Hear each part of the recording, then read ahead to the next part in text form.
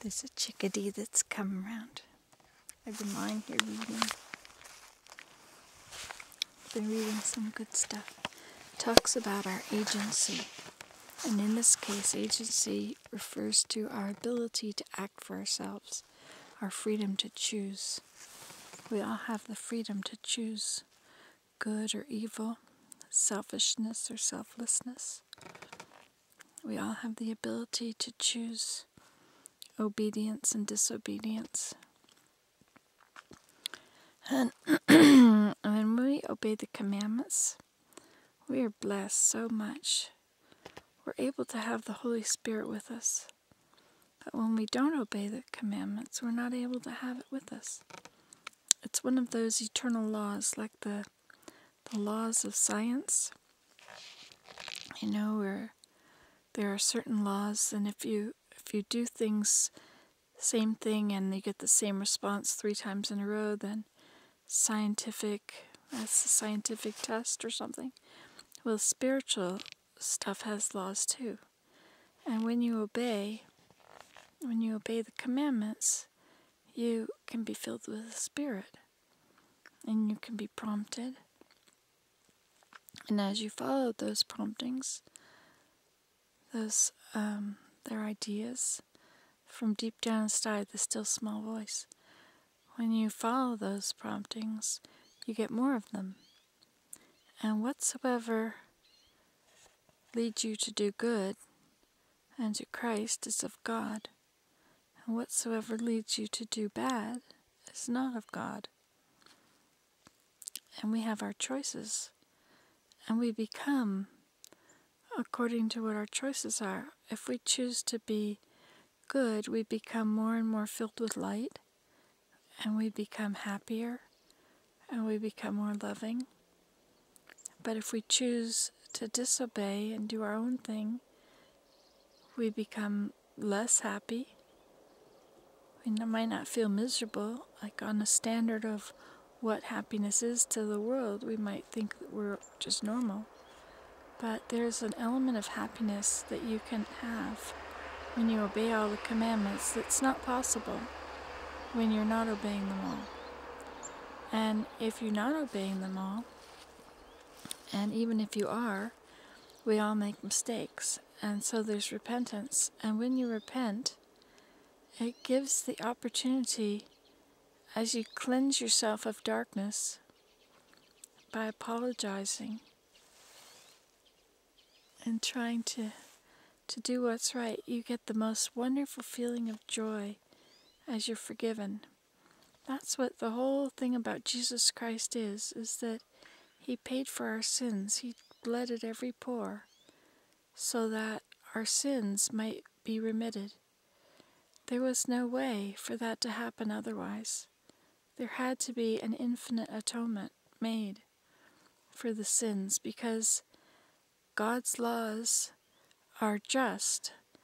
And if you break a law, only an unclean thing, no unclean thing can dwell in the presence of God. And when you break a law, you become unclean.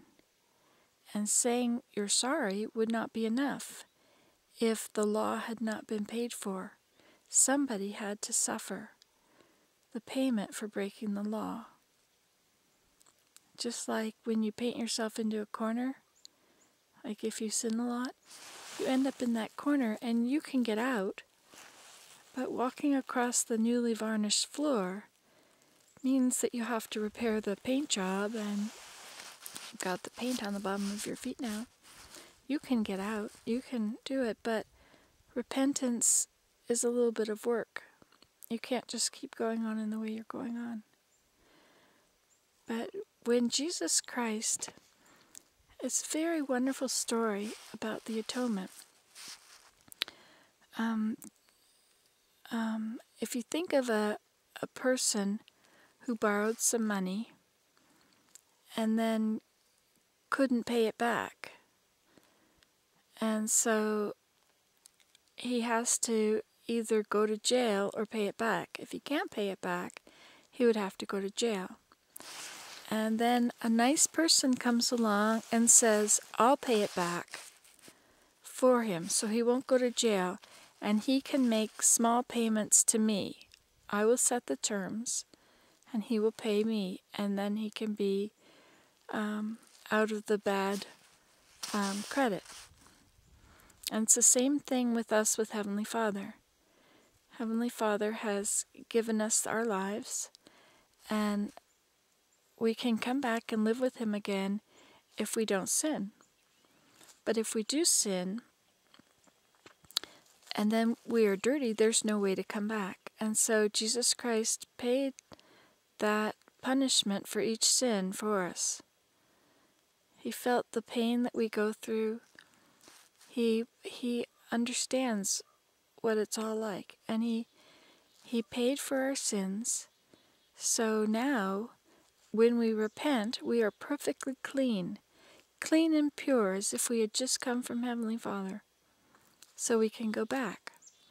It's important to repent all the time because if you wait until the very end to repent, there's not time to build a character and as you repent, you build your character. You become a nicer person. When you repent for being mean, the more you repent for being mean, the less mean you are because you know you don't want to repent for it again. You appreciate the value of not being mean.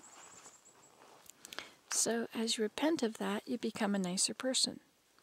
And all the things that you repent of, you become the opposite. You become a better, cleaner, a, a more good person, more filled with the Spirit, more filled with light. And it's cool. It's awesome to get um, promptings. It's really awesome. And I'll leave you my testimony. I know that God lives, and I know that Jesus is the Christ, and I know that when I repent, I am so filled with joy I cannot contain it. I can't keep from smiling. And I have to do it often, or else my sins add up. Because basically, I am very selfish. And as I act out my selfish ideas and behaviors, I, I lose the spirit, and so I have to repent. And I leave you my testimony in the name of Jesus Christ. Amen. Bye.